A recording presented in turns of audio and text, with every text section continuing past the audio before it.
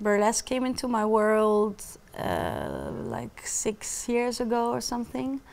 When I was 18 or so, I started to be a body paint model. Then I became a nude model actually, or like artistic nude, and which is actually funny because the photographer was a friend of my parents. My parents knew him and trusted him, so it was a nice way to discover those things. Because actually I come from quite a prude family, so I, I was really uh, interested to discover this, you know, this exciting world. So I went to Kama Sutra convention and erotica things, and as a body paint model, what drew me to burlesque, yeah, I, I actually saw this erotic uh, and theater coming together you know, because uh, it is exciting and teasing, but but there's also the the the art